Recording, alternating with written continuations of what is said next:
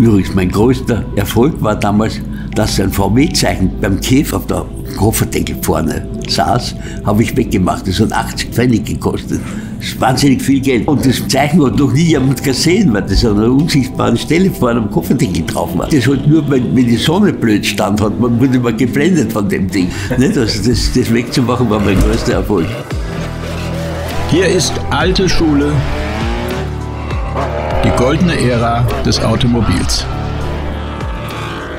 Und mein Name ist Carsten Arndt. Herzlich willkommen zur alten Schule, Ausgabe Nummer 69.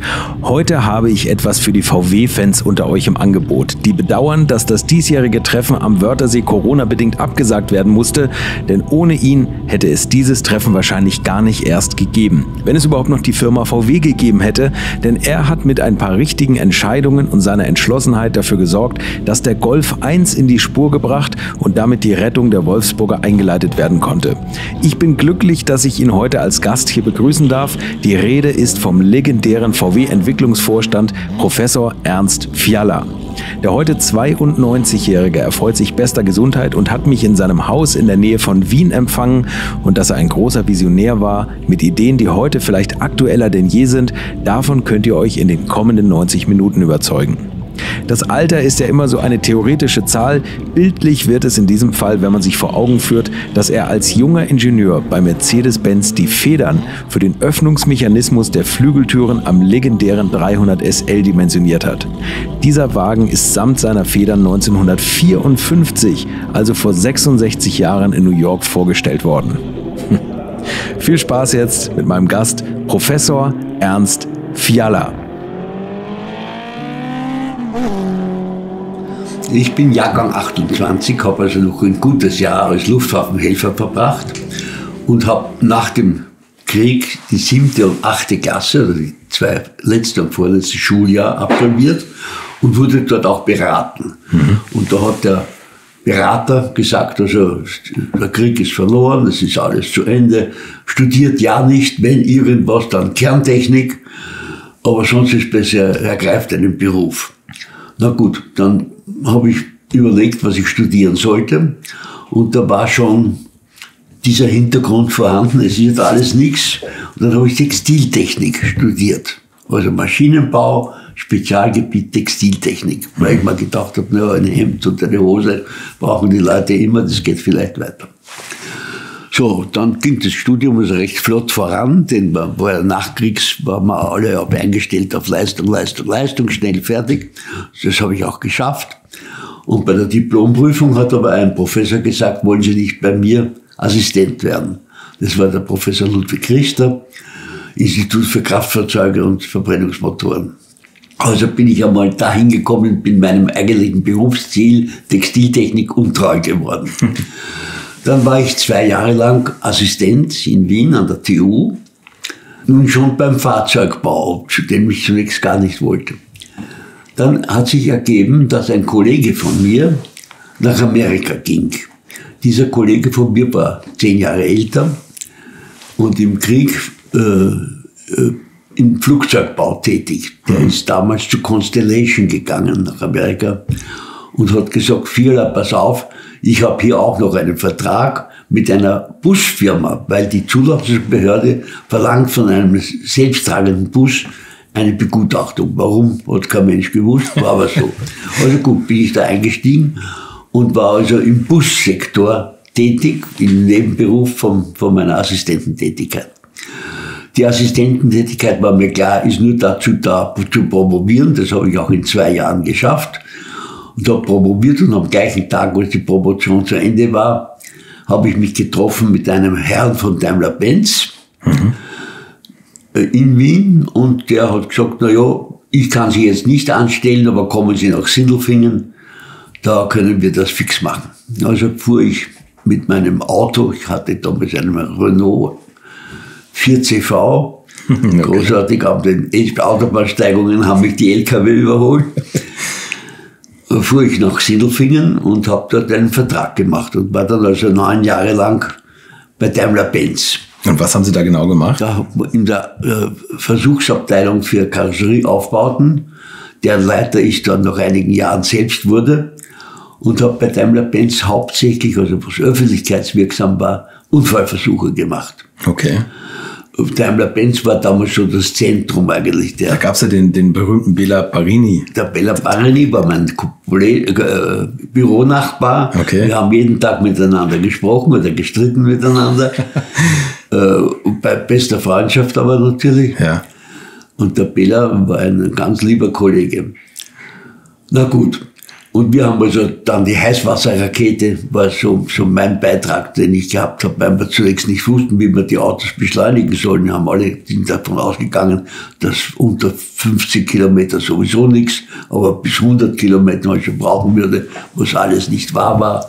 50 Kilometer sind schwierig genug. Ja. Und das ging, ich war dann Abteilungsleiter und Oberingenieur, was auch damals da auch noch irgendwas war. Also die heiß, ganz kurz, die Heißwasserrakete, um die Crash-Autos zu beschleunigen, um an die ja, ranzufahren. ja, ja. Haben dann also nicht nur Pkw beschleunigt, sondern weil Baden-Württemberg zuständig wird für die Entwicklung der Leitplanken, haben wir auch LKWs beschleunigt, also siebeneinhalb Tonnen LKWs gegen Leitplanke, was so gar nicht gepasst hat. Dann gab es noch einen, einen Streit, ob eine Leitplanke starr sein soll oder nachgiebig. Und da haben wir über mich gemischt. Also jedenfalls habe ich durch Vorträge auch, die ich halten konnte über das Thema Unfallsicherheit, äh, einen Ruf gekriegt. Äh, Erst noch Hannover, dann noch Berlin. Das war verboten, zwei Rufe zu haben, aber im akademischen Bereich Auge zu. war das oder ist das immer noch ein bisschen lockerer, sodass ich also den Beruf, den Beruf nach Berlin nachgegeben habe und mit einem damals großen Berufungszusage 300.000 D-Mark war damals viel Geld, heute ist das gar nichts, nicht? Also jedenfalls habe ich ein Institut übernommen, an, in einem Raum waren noch die Flammenwerferspuren von der russischen Eroberung. Okay, also es war nicht auf der Höhe der Zeit. Und das Geld habe ich sparsam eingesetzt, was aber andere wieder wohlwollend bemerkt haben und dann selbst Geld gegeben haben, sodass ich also äh, immer das zehnfache Budget hatte, als ich von der TU bekommen habe Okay. und hat dann auch 60 Mitarbeiter statt ursprünglich drei. Und das ging ganz gut, das Geschäft da, haben ein modernes Beschleunigungskatapult gebaut, die, die, der Innenraum der Avus Nordkurve, der wurde mir zur Verfügung gestellt für Unfallversuche. Also Sie haben immer weiter in der Ja, Unfallforschung gearbeitet. ja. Und was, was waren das für Bereiche genau? Irgendwie so das, Also war auch ein Institut für Fahrzeugtechnik. Und die Fahrzeugtechnik habe ich etabliert, auch unter dem Vorbehalt, in, in Berlin darf keine Wehrforschung betrieben werden. okay. war damals noch. Und Unfallsicherheit, also Sicherheit war das ein großes Thema. Ähm, sind wir ganz gut vorangegangen. Wir hatten also Verträge mit allen deutschen Automobilfirmen und mit vielen amerikanischen und, und französischen Firmen auch. Und in deren Aufträge haben Sie Teilbereiche im Auto erforscht. Ja. Also Ja. kann man da Beispiele nennen? Sitze zum Beispiel, Sitzentwicklung, die, eine französische Firma oder das Antiblockiergerät damals mit Da einer amerikanischen? Firma, ja. Oder na, alles mögliche, brandige Kolbenringe zum Beispiel, ein ganz ausgefallenes Thema, aber gut, aber, oder Wankelmotor. Hat Ihnen das besser gefallen, an einem freien Institut zu arbeiten, als bei Mercedes, wo Sie Ja. auch die Sicherheitstechnik Ja. weiter vorangetrieben haben? Der, mein, meine Jahre an der TU Berlin waren die schönsten Jahre meines Lebens. Tatsächlich. Weil, Ja, ja. die Arbeit freier war? Oder Naja, man, richtig. Ein Professor war damals, und es sollte heute auch noch so sein, Mhm. nur seinem Gewissen verpflichtet. So stand es auch in den Grundsatzregeln der TU Berlin, Mhm. dass man machen kann, was man will und niemanden, auf niemanden hören muss, auf, auf sein eigenes Gewissen und auf den Fortschritt der Technik. Na, das ging ganz gut. Und wir waren also bekannt. Mich hat ein, ein Senator aus den USA besucht, um zu sehen, wie ein deutsches Institut für Fahrzeugtechnik arbeitet. Und ich hatte auch eine Einladung als Visiting Professor am MIT. Bis dann im Jahre 68 die Berliner Universitätsgesetze verfasst wurden, die äh, mich betroffen gemacht haben, weil der äh, Professor völlig entmündigt wurde. Es wurden Fachbereiche gegründet, wo der, der Institutsvorstand gab es nicht mehr sozusagen. Das war alles im Fachbereich. dieses Universitätsgesetz von 68 ist bis heute nicht umgesetzt. Das ist ja ganz interessant. Ich habe immer damals auch gesagt, ich habe gedacht, in Preußen ist alles klar ja. und nur in Wien ist die Schlamperei, aber hier ist noch schlimmer. ja gut. Und das ging also trotzdem, weil es nicht wirksam wurde, das Gesetz, ging das ganz gut, bis zu eines Tages im Jahre 1970, im Frühjahr oder Winter noch, 1970, der Akademische Senat eingeladen hatte, die Institutsvorsteher zu berichten, was sie eigentlich tun. Das habe ich sehr begrüßt, dass sich der Akademische Senat endlich einmal beschäftigt mit irgendwas, weil vorher hat er nämlich gar nichts getan. Und ich habe also schon eine Anhörung mitgemacht und habe berichtet, was das Institut tut, die Zahl der Veröffentlichungen, und dann wurde auch gefragt, also wie viel Prozent sind davon konventionelle Technik und wie viel Prozent Zukunftstechnik. Und da habe ich wahrheitsgemäß gesagt, also 10 Prozent sind Zukunftstechnik. Worauf der akademische Senat, also zunächst ein Sprecher, aber die anderen haben nichts dazu gesagt, daher gilt das, was der eine Sprecher sagt. Der eine Sprecher hat gesagt, das ist genau verkehrt. Sie müssen 90 Prozent Zukunftstechnik machen und 10 Prozent konventionell. Gesagt, gut, das nehme ich zur Kenntnis, nur bin ich der falsche Mann, ich gehe weg. Das haben die alle nicht geglaubt, aber ich bin bei der Tür hinausgegangen und habe am nächsten Tag meine Entlassung beantragt. Sehr konsequent. Ja, sicher. Aber also, ich nicht gewusst, wo ich hingehe. Und war eigentlich völlig leichtsinnig für einen Familienvater mit drei Kindern, nicht? Mhm. Der sonst nichts hat zu sagen, ich kündige. einen, eine Lebensstellung. Ich habe einen Beamteneid geschworen in die Hand vom, vom Willy Brandt. Ich bin bis heute Beamter der Bundesrepublik Deutschland. Der Beamteneid endet ja nicht. Ich das darf stimmt, noch immer ja. nichts Böses sagen über Deutschland. Das fällt mir auch nicht ein, mir fiel auch gar nichts ein. Also, na gut, jedenfalls stand ich dann da und habe am nächsten Tag nicht nur die Kündigung geschrieben, sondern auch überlegt, was ich machen sollte. Mhm. Und da habe ich herausgefunden, über, man hörte so alle Möglichkeiten, dass Ford und VW einen Forschungschef sucht. Und da war natürlich VW viel reizvoller als Ford. Denn im Jahre 70 ging es bei VW steil bergab. Ich wollte gerade sagen, also eigentlich. Ja, ja, ja das sind eine gute, man darf nicht in eine gute Firma einsteigen, man muss immer in eine schlechte Firma einsteigen. Weil viel schlechter kann es nicht werden, da kann es nur aufwärts gehen. Also das war so war auch die Überlegung. Mhm. Aber Spaß beiseite, auch die Aufgabe, einen Nachfolger für den Käfer zu finden, der das berühmteste Auto der Welt war und vielleicht noch immer ist, war schon eine sehr reizvolle Geschichte. Also VW war wirklich ganz am Ende. Ne? Also VW war, war schlecht. Und zwar, weil alles gleichzeitig schlecht wurde. Nicht? Die Amerikaner haben begonnen, selbst kleine Autos zu bauen. Mhm. Nicht? Die Japaner haben großen Markt gemacht in Italien, in, in den USA, wo es der Hauptmarkt für VW war, wo das Geld auch herkam. Und der Käfer war am Ende seiner Tage. Und, und das, der Alpha Sud war im Start? Also sogar die Italiener oder die Franzosen, die haben ja, ja alle ja. kleine Autos gebaut, ne? die, ja. die dagegen gingen. Und der Käfer hat die Abgasvorschriften, glaube ich, nicht mehr geschafft. Ja, das, war, das war schwierig. Ja. Die, die Sicherheits- und Abgasvorschriften, die es vorher nicht gab in Amerika, war ja alles frei, mhm. die waren plötzlich so ausgerichtet auf amerikanische V8-Fahrzeuge. Mhm. Und so hat der VW-Käfer überhaupt nicht gepasst. Mhm. Also es war sehr schwierig, den Käfer überhaupt durch die Vorschriften durchzubringen, sowohl sicherheitsmäßig als auch abgasmäßig.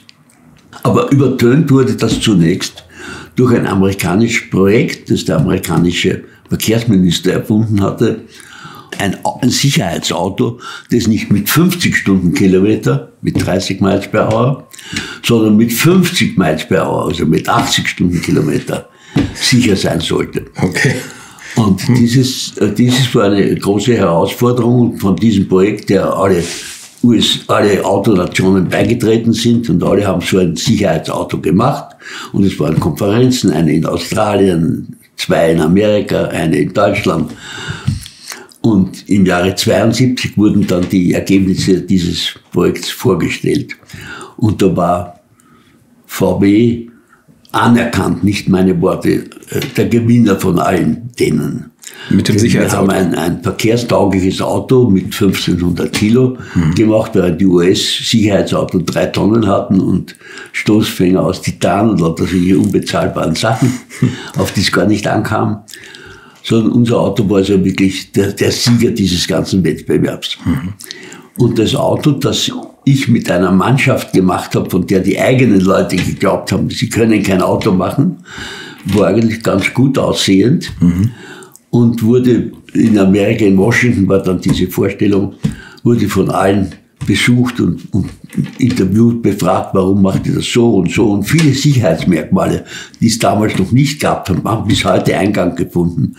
Bis auf zwei, das sollten wir vielleicht auch erwähnen. Zum Beispiel die Abstützung von der linken Mittelsäule zur rechten quer durchs Auto durch. Mhm. ist natürlich ein Hindernis, weil man da mit dem Sitz nicht mehr beweglich ist, sondern mhm. die Pedale einstellen muss. Mhm. Das Lenkrad kann man halt sowieso bei allen einstellen, aber die Pedale noch nicht.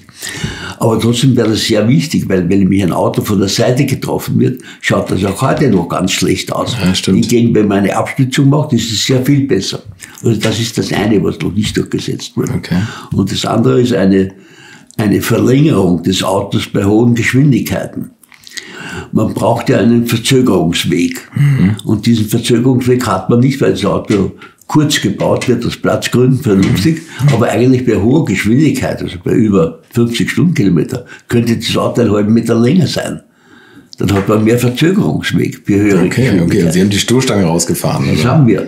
Nicht okay. ein Stoßfänger, und zwar eine massive Stoßstange, nicht so ein Stoßfänger wie heute, ja. sondern ein richtiges Ding, was Energie aufgenommen hat. Und das war eigentlich der, der durchschlagende die durchschlagende Idee. Wir konnten aus 80 Stundenkilometer lebensrettend, an Damis nachgeprüft, lebensrettend Personen aus dem Auto herauskriegen.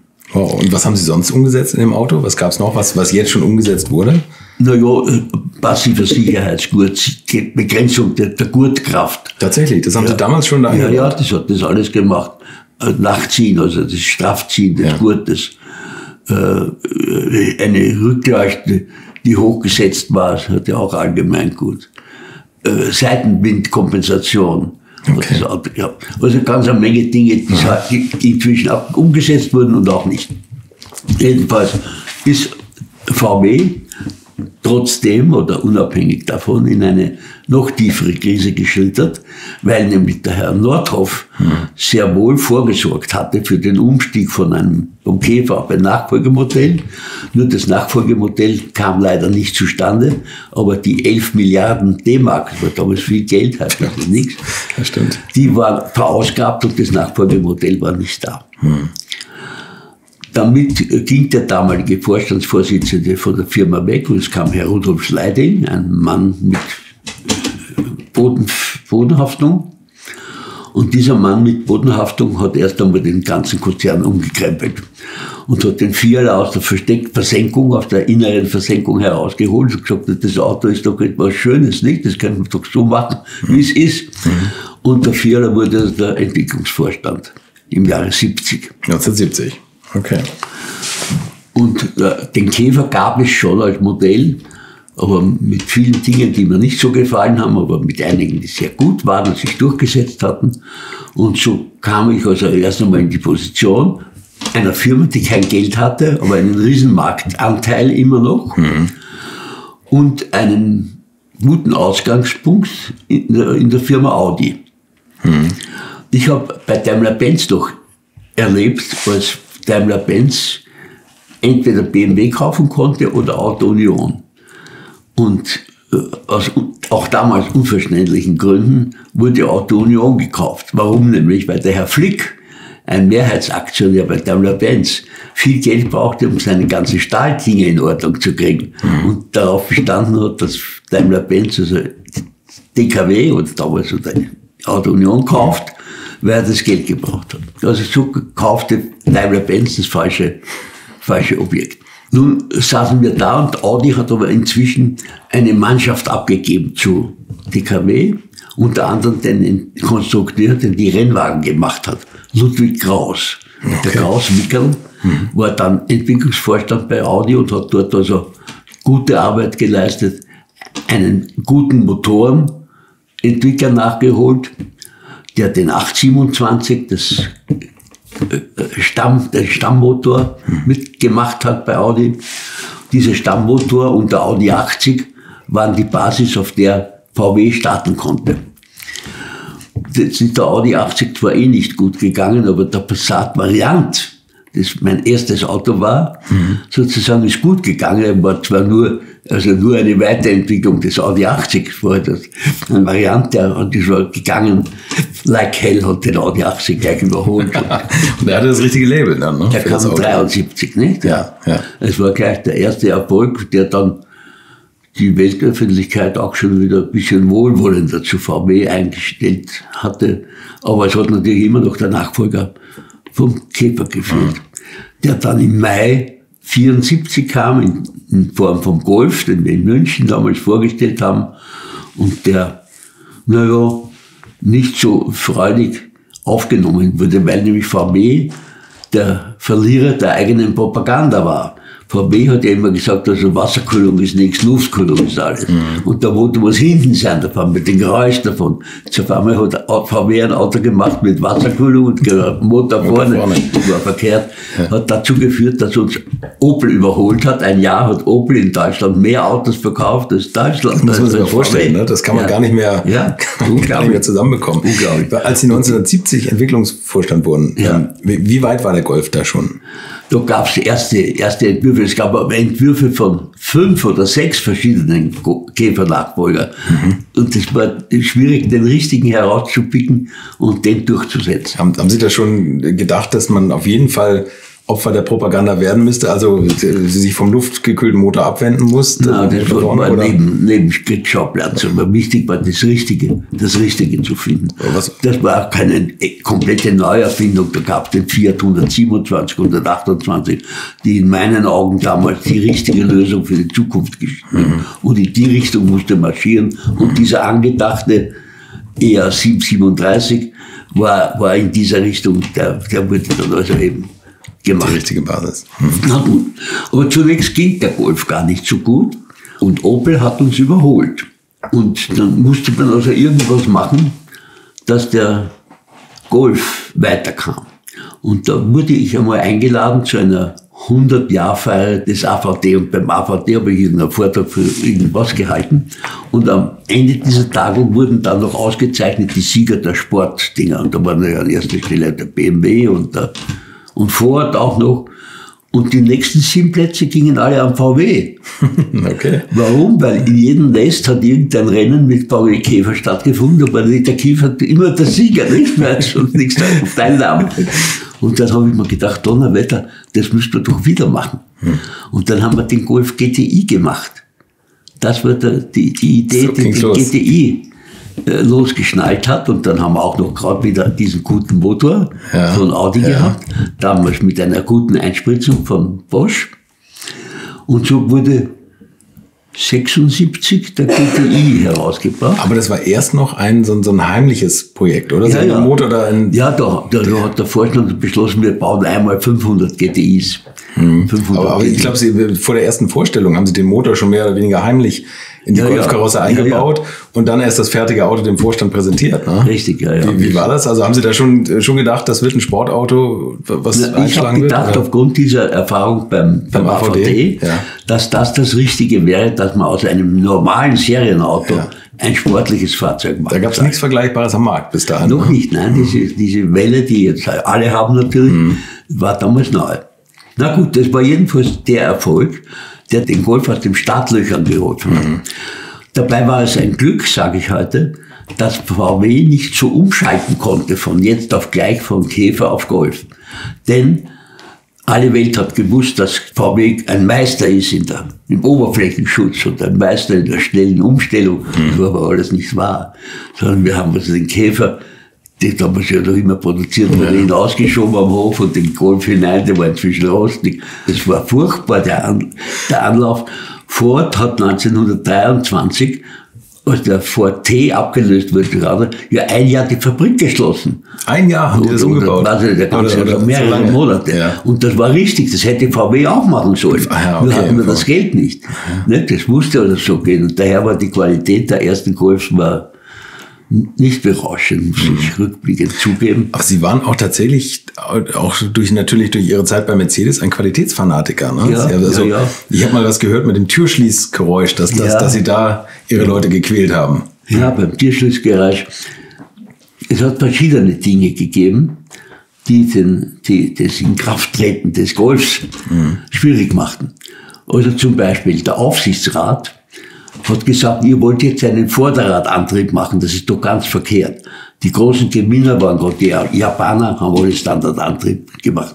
Die Amerikaner haben kleine Autos gemacht, alle mit Standardantrieb. Mhm. Standard heißt also Motorvorantrieb hin. Ja. Und Ford ist umgestiegen von einem Standardantrieb auf einen Vorderradantrieb, den P, T- P4, glaube ich, hat der geheißen. P4, ja. Und sind vom P4 wieder zurück auf den Escort. Ja, auch wieder mit Heckantrieb, stimmt, ja. Richtig, also ja. hat doch der Aufsichtsrat gesagt, na Ford muss es doch wissen, die haben ja das Richtige gemacht und ihr wollt jetzt in den Vorderradantrieb hinein. Ja gut, also da konnte ich mich mit Leidings Hilfe im Übrigen, Leiding war ein, war, war der, der wirklich mächtige, ohne dem wäre nichts gegangen, aber mit Leidings Hilfe gelang es trotzdem auch beim Aufsichtsrat vorbei, dieses Konzept durchzusetzen. Also der damalige VW-Chef, ne? Ja. War das, ja. Und intern gab es natürlich einen, eine Maßnahme, den Golf so billig wie irgend möglich, zu machen. Und jeden, jedes Gramm wurde herausgemacht. Übrigens, mein größter Erfolg war damals, dass ein VW-Zeichen beim Käfer vorne am Motorhaupt, auf der Kofferdeckel vorne saß, habe ich weggemacht. Das hat 80 Pfennig gekostet. Wahnsinnig viel Geld. Aber bei der Masse ist das extrem Ja, viel, ne? na ja, und das Käf, das Käf, das Mann, dieses Zeichen hat noch nie jemand gesehen, weil das an einer unsichtbaren Stelle vorne am Kofferdeckel drauf war. Ach wirklich, das war gar nicht draußen. Das, doch, draußen Ach so. schon, aber, aber wer Stimmt, schaut ganz dort oben. hin? Ja, ja, ja. Nicht, das halt nur, wenn, wenn die Sonne blöd stand hat, man wurde immer geblendet von dem Ding. Nicht, also das, das wegzumachen war mein größter Erfolg. Und dann ging es also beim Golf auch darum zu sparen, alles raus, alles raus. Und da habe ich mich aber beim, bei der Türpappe auf den Hinterbeine gestellt, habe gesagt, das Türschlossgeräusch ist das Wichtigste vom Auto. Das Auto muss blub machen und nicht ne? Und dann habe ich also gegen wahnsinnige Widerstände, wieder mit Hilfe vom Leiding, die Türpappe hineingebracht. Und nicht nur das, zum Beispiel Aschenbecher war auch so eine Geschichte.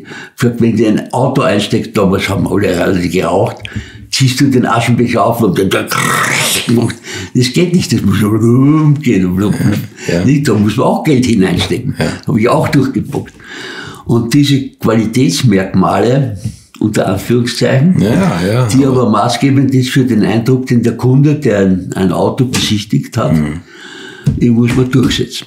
Na gut, also jedenfalls ging der Golf zunächst schlecht und das war ein Glück, weil die Qualität nicht in Ordnung war. Und ab 76 ging es aber dann steil bergauf. Wir haben das Auto in Ordnung gebracht.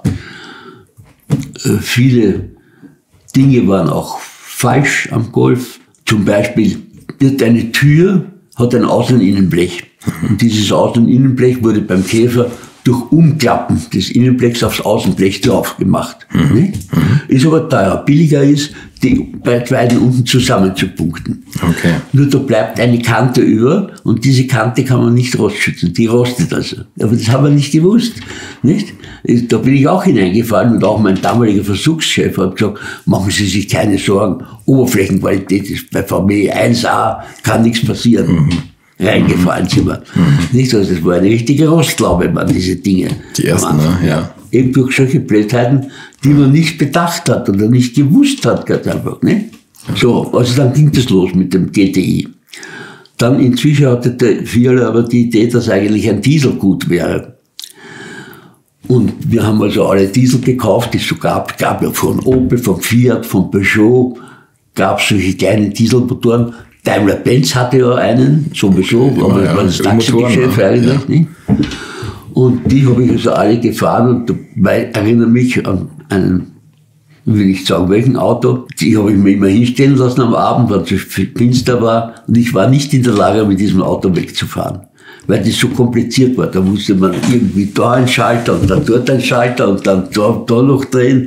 Und dann habe ich gesagt, das geht nicht. Wir machen einen Diesel, wo man mit dem Zündschlüssel startet, wie sonst auch. Das gab's ja nicht. Was war das damals? Das Vorglühen war noch ein Thema? Ja, ja, Vorglühen Diesel, das Vorheizen und so. Und dann habe ich gesagt, Kinder, das geht alles so nicht. Wir müssen starten mit dem Zündschlüssel und das Vorglühen beginnt, wenn wir die Tür aufmachen. Nicht? Ja. Und damit kam ein Diesel auf den Markt, den wir 1977 oder 76, weiß ich nicht, im Dezember in, in Stockholm vorgestellt haben. Und zwar war der Startpunkt nördlich an einer großen Tankstelle äh, nördlich von Stockholm. Und in der Früh bin ich also mit dem Journalisten mitgefahren an den Bus zu dieser Stelle. Und habe schon gefragt, so, was glaubt ihr denn, wird das sein mit, und dann gesagt, na ja, zwei Prozent. Und auch Daimler VW intern hat es so das ein Vorstandsmitglied hat gesagt, also wenn wir das nicht angefangen hätten, hätten wir das nie gemacht, das ist ja nur eine Blamage. Und der andere hat gesagt, das ist unnütz wie der, Gold, wie der Kopf. Nicht? Na gut. Und die Journalisten waren auch alle sehr, sehr reserviert, dieser Idee. Und dann ist wichtig ja, dass man zu einer Pressevorstellung immer irgendeinen Preis ausschreiben oder irgendwas macht, irgendwas, was, was ins Gemüt geht, nicht nur das blöde Auto, sondern so. Und da haben wir ein kleines Preisausschreiben gemacht für den, der den Durchschnittsverbrauch der kommenden Rundstrecke hm. vorausschätzt, der gewinnt den. Mhm. Der Durchschnittsverbrauch lag damals bei 3,8 Liter auf 100 Kilometer. Ne? Damals schon? Ja, ja. Na, ja sie, also der Wagen hat auch nichts gewogen. Schweden ne? im Dezember, ja. viel Schnee, ja. schön langsam ja. durchgeduckert, dass das Auto keine Leistung hat, 50 PS gehabt, ist nicht aufgefallen. also wir haben dieses Ding gedreht am Tag und am Abend bei der Rückfahrt haben alle gesagt, na nu, das ist ein ganz, ganz ein neuer Diesel. Das ist gar nicht so, wie die alten Diesel waren. Mhm. Und eigentlich war, war dieser Bus, an zwei Tagen zwei Busse, waren immer auf der, Rück, auf der Hinfahrt skeptisch, auf der Rückfahrt und so, das wird was.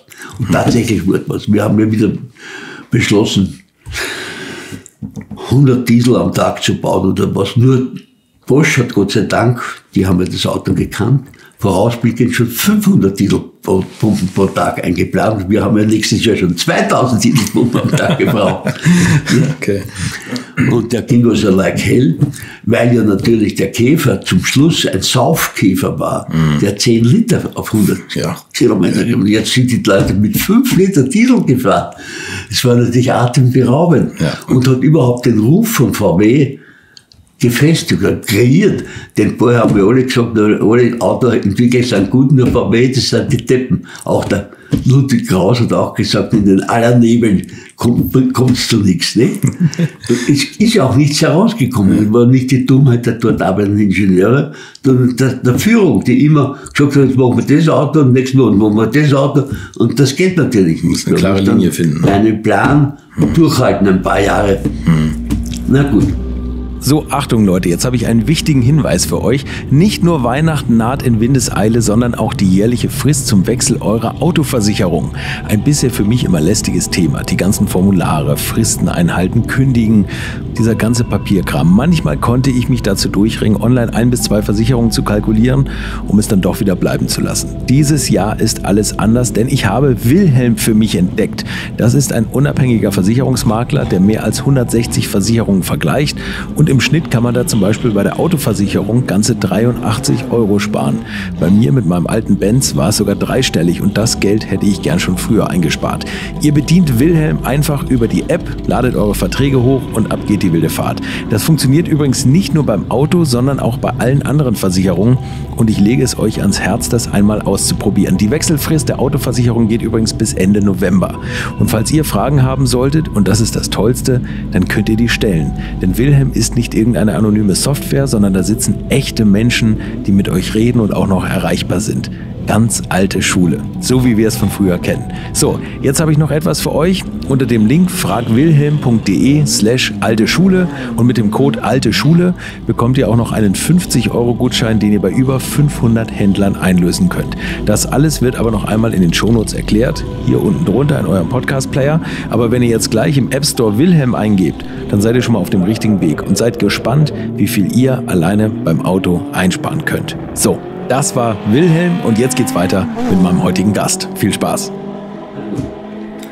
Also das war eigentlich der Aufstieg von VW, der 73 mit dem Variant bekam, mit dem Passat Variant, der gut und heute noch das Rückgrat dieser Reihe ist, mhm. sowohl bei VW als auch in der Konkurrenz. Dann der Golf, der mit Anlaufschwierigkeiten gestartet ist, der GTI, mhm. der das Feuerwehr erst angezündet hat, dann der Diesel, der eine weltweite Dieselwelle ausgelöst hat, und dann das Cabriolet. Das Cabriolet war nämlich auch am Aussterben. Es gab ja kein Cabriolet mehr. Daimler-Benz hat keine Cabrios gebaut. Alle haben gesagt, das ist ein Überschlag, das ist zu gefährlich, das kann man nichts machen. Dann haben wir uns dieses Cabriolet mit Gewalt gemacht, mit einem Überschlagbügel. Mehr als, ja, mehr als symbolisches Ding, nicht? Aber auch das hat eingeschlagen. Und alle haben halt begonnen, Cabriolets zu bauen. Mhm. Also es war schon wirklich eine Reihe von, von Erfolgen. Nicht verschweigen will ich den, den, die Mithilfe von Giugiaro.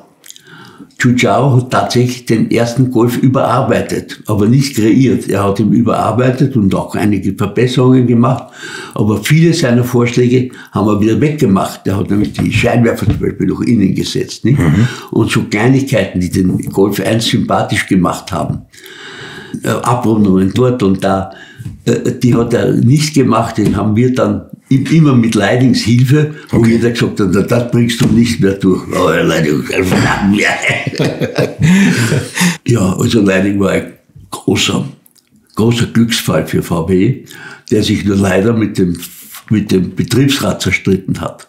Mhm. Obwohl Leiding eh ein hemdärmeliger Bursche war, nicht? Mhm. der sich mit der sich gedutzt hat mit Betriebsratvorsitzenden. Nur hat er, hat er leider einen Brief geschrieben an die Volkswagen-Mitglieder, dass die Lage sehr ernst sei und jetzt alle zusammen helfen müssten. Das hat ihm der Betriebsrat übel genommen. Er hat gesagt, du kannst doch keinen Brief schreiben. Ohne uns, wir müssen gemeinsam. Ne? War das schon damals so ein mächtiger Betriebsrat, was VW ja oftmals ja, ja, war? Ne? VW galt ja so als halbstaatlicher Betrieb. Mhm.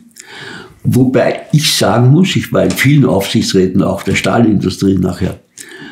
Also äh, Tatsache war, dass ich auch in meinen Aufsichtsräten immer genau gehört habe, was die Betriebsräte und vor allem was der, der, die Gewerkschaft sagt. Die Gewerkschaft hat nämlich ein fantastisches Industrieinstitut in Frankfurt, wo die alle Probleme und alle Firmen sorgfältig durchleuchten wozu der Aufsichtsratsmitglied gar keine Zeit hat mehr. Der macht das so hm. als Nebenbeschäftigung. Ja. Nicht? Ja. Und daher muss man immer dorthin hören, wo die Leute was wissen. Das war immer der, der, der und ich habe mich auch nicht geniert zu sagen, ich höre auf die Gewerkschaft, die wissen wirklich was. Im Gegensatz zu mir, hm. der hier nur zu einer Aufsichtsratssitzung kommt mit schlechter Vorbereitung. Hm.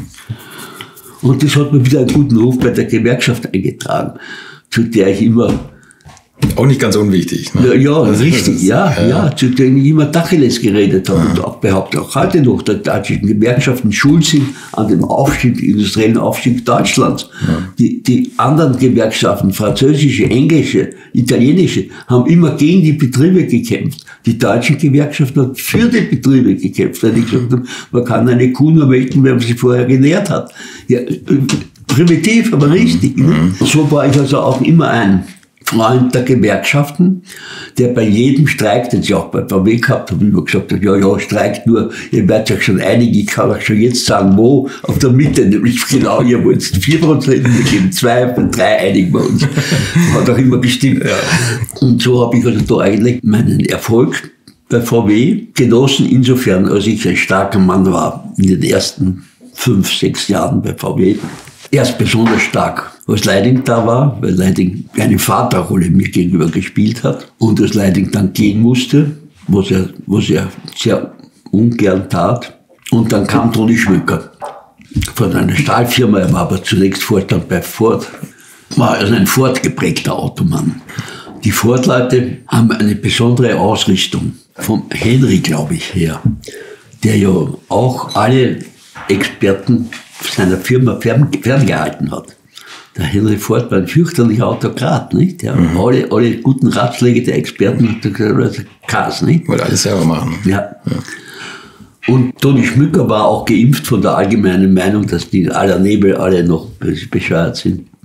Schmücker kam ja schon 75. Da waren die großen Erfolge von VW noch nicht da. Im Gegenteil, VW war immer noch am Pleite gehen. Und Schmücker hat ein paar Jahre gebraucht, bis er Vertrauen in, in die VW-Entwicklung gewonnen hat. Zuerst hat er mir gesagt, Audi ist alles. Auch, auch bei meiner Installierung hat der Aufsichtsrat gesagt, ihr dürft, Audi ist die tüchtige Firma und ihr seid alle dumm. Also dumm hat er nicht gesagt, aber. Aber das war das Letzte, ähm, was der, was der äh, Leidig noch gemacht hat vor dem Abgang, ist noch Audi zu kaufen. Ne? Nee, nee, ja, wir haben, damals NSU gekauft, aus steuerlichen Gründen. War das günstiger, die schon ganz pleite Firma NSU zu kaufen. Und NSU hat dann Audi gekauft und so wurde das in den Konzern okay. eingeführt. Okay. Porsche wollte man noch mal kaufen, aber das war später. Ne? Nein, nein, nein, 80er. Porsche ging nicht. Da kommen wir auch noch dazu. Ja, ja und da habe ich mich natürlich bei Porsche eigentlich sehr gedacht, ich mache mich ganz unbeliebt, weil ich so alte Zöpfe, die da waren, von jedem VW kriegt Porsche einen gewissen Anteil.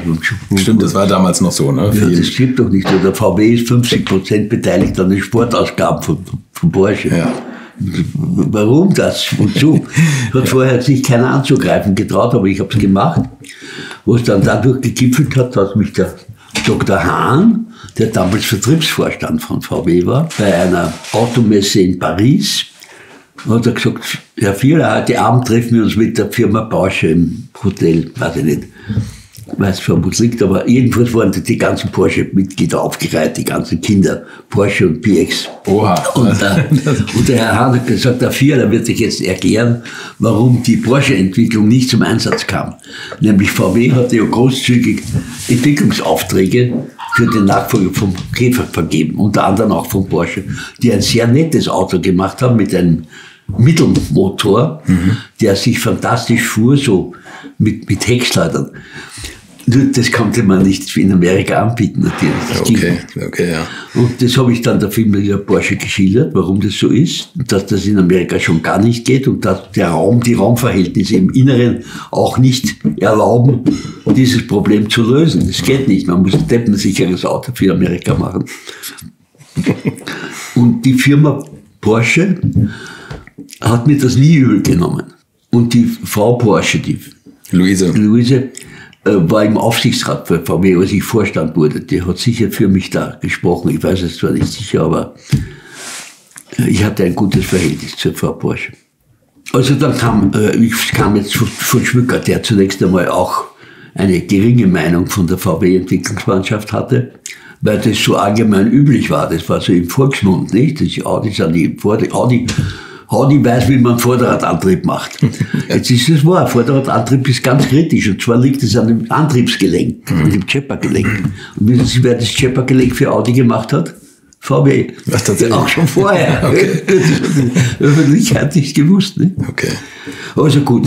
Also jedenfalls hat, Leid, hat äh, Schmücker zwei Jahre gebraucht, bis er eingesehen hat, wo wir wirklich weiterkommen. Und hat mich dann sehr unterstützt und sehr ja, Vorstandsvorsitzender ist immer gut, wenn man auf seiner Seite hat. Nicht? Ja, das denke ich, ja. ja und da ging es mal so gut. Und äh, VW hatte oder hat einen Ausschuss, der heißt APP, Ausschuss für Produktplanung. Ah, okay. Und dieser Ausschuss für Produktplanung ist von allen Vorstandsbereichen bestückt, besetzt. Und wie jeder Ausschuss bringt auch dieser Ausschuss nichts zu Wege. In meiner ganzen Zeit hat der Ausschuss für Produktplanung nur eine Sache durchgesetzt, das war die Zentraleinspritzung, die Plätzchen war und auch noch ein halben Jahr wieder abgelöst wurde. Aber sonst hat er mich immer eigentlich nur behindert. Und dieser Ausschuss für Produktplanung wurde vom Leiding überhaupt immer mit der Auflösung bedroht und Schmücker hat ihm auch nicht geholfen, sondern ich konnte mich gegen den Ausschuss für Produktplanung immer durchsetzen. Der mich aber fürchterlich geärgert hat die ganze Zeit, weil es also immer so abwegige, aus meiner Sicht, abwegige Dinge. Ich bitte, Sie sollten eigentlich jetzt den Ausschuss für Produktplanung hören, weil das ist der alte Rapaz. Ich jedenfalls war nicht glücklich mit ihm und konnte mich aber durchsetzen für ihn. Dann kam 1982 Herr Hahn zurück als Vorstandsvorsitzender. Hahn als hochgeschätzter Verkäufer, der tatsächlich den Käfer in Amerika durchgesetzt hat. Also alle Achtung vor Hahn, auch heute noch. Ich schreibe mich auch mit Hahn und wir schätzen uns gegenseitig. Wir sind nur völlig uneins in einer Sache. Ein Verkäufer wünscht sich in seinem Verkaufsprogramm ein Ding, das geht. Ist doch logisch. Würde ich auch als Klar, ja. mir wünschen. Der Jammer ist nur, dass das Ding, das heute geht, man vor zwei Jahre vorher entwickeln muss.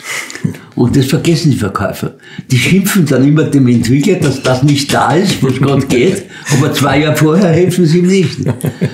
Das ist wieder die eine Partei, müsste die andere hören, aber ich vertrete die andere Partei eh. Ist ja richtig, der Verkäufer will das haben, was gerade geht. Und das muss man zwei Jahre vorher machen. Um sicher zu sein, dass man das macht, ist es gut, wenn man die Marktführerschaft hat. Weil dann kann man diktieren, was, was kommt. Und das war immer mein Bestreben. Aber der Ausschuss für Produktplanung war eigentlich mehr ein Anhänger der anderen Seite, die ja für, für primitive Leute, sage ich nicht, ich will die ja nicht beschimpfen, die ja verständlich ist für den einfachen Verstand. Das gut ist, was, man was zu verkaufen hat, was Gott geht. Das ist, ist ja wahr, das ist ja unbestreitbar. Nicht? Aber nur war ich dadurch am, am kürzeren Hebelarm und habe viele Dinge, die ich durchsetzen wollte, nicht mehr durchsetzen können. Ein Ding davon war der Hybridantrieb. Oh, okay. Da waren Sie schon. Ja, ja, wir haben auch einen. Großversuch gemacht, noch in Zürich und einen auf Rügen mit einem Hybrid. Die automatische Fahrzeugführung hat auch kein Wohlwollen gefunden. Da gab es zwar eine Versuchsstrecke in, in Ehre-Lessin mit automatischer Fahrzeugführung im Fernverkehr.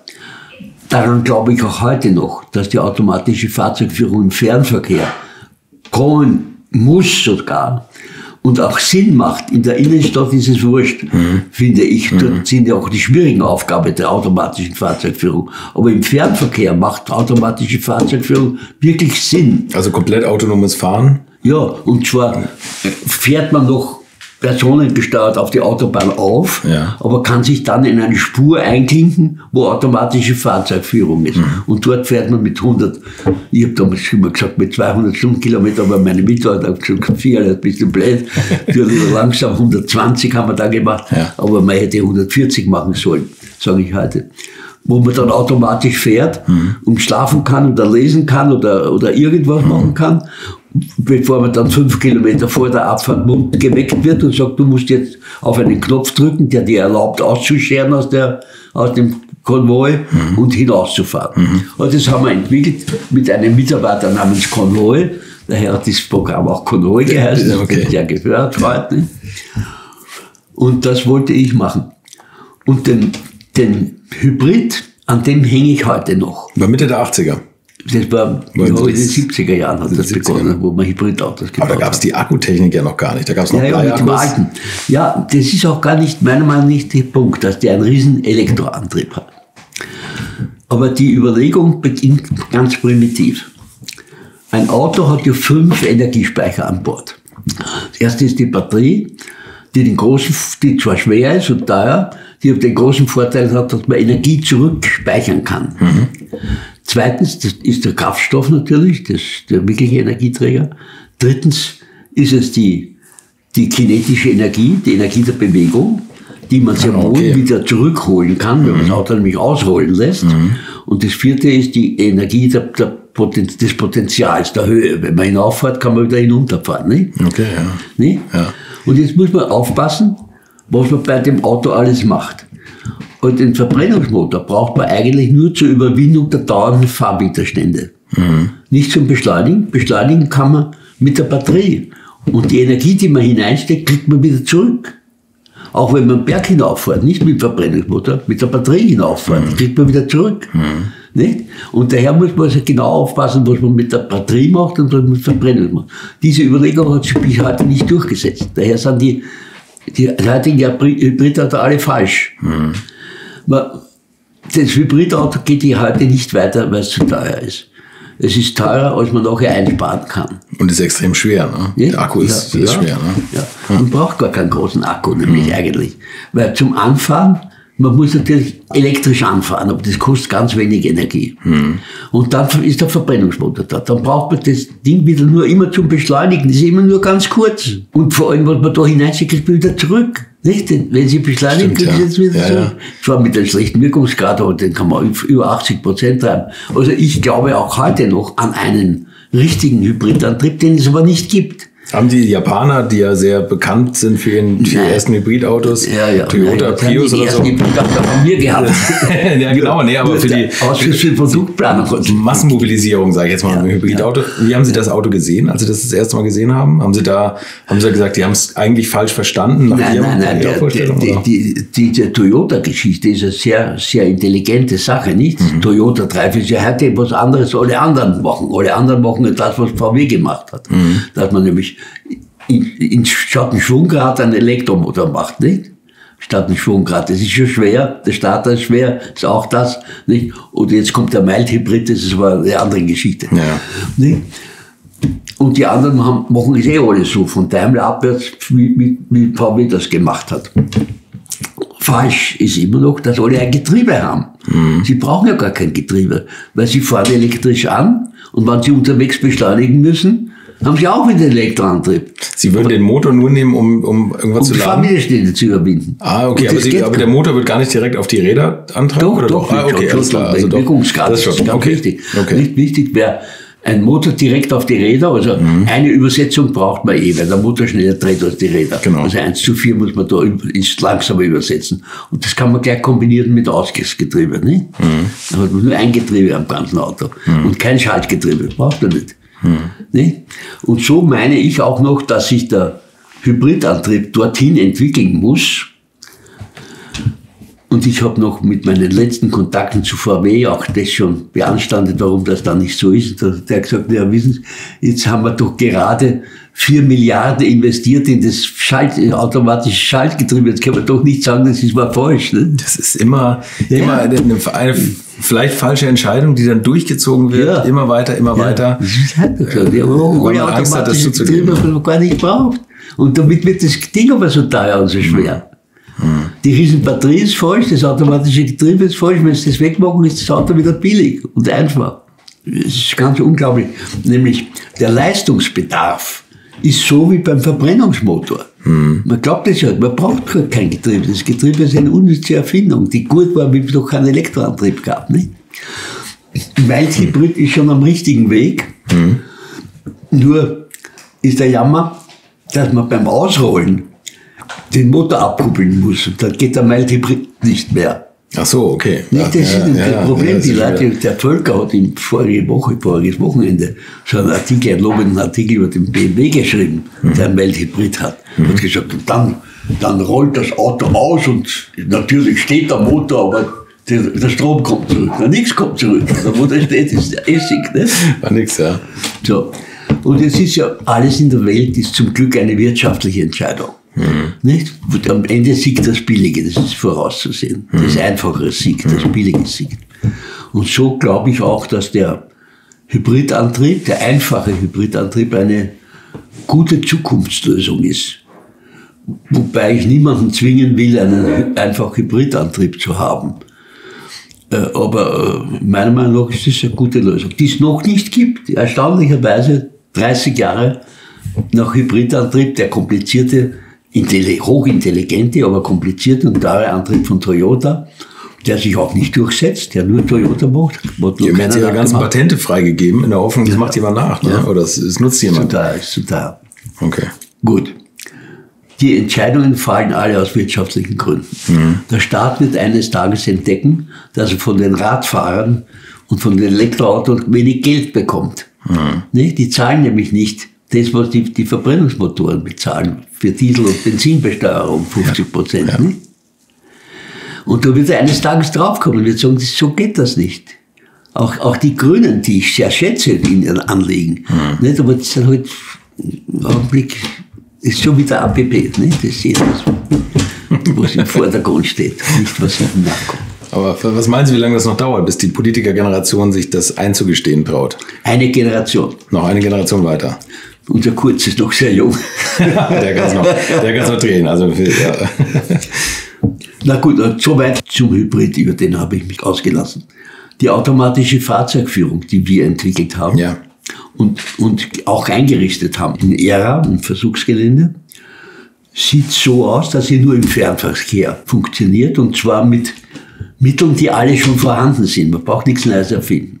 Man fährt also auf die Autobahn auf und die linke Spur ist die automatische Fahrzeugspur. Die linke, nicht die Die, rechte. die, die ganz linke, die rechte braucht man für die LKW.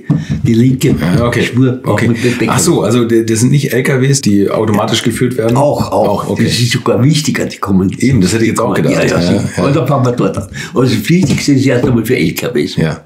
Nämlich die LKW heute alle mit 80 fahren, mehr dürfen sie nicht, und daher mindestens 40 Meter Abstand haben sollen, haben sie eh nicht, aber, aber es ist ja ein Kampf, wenn man dann so eine LKW-Kolonne hat, wo Gott sei Dank wenige nur mehr überholen. Mhm.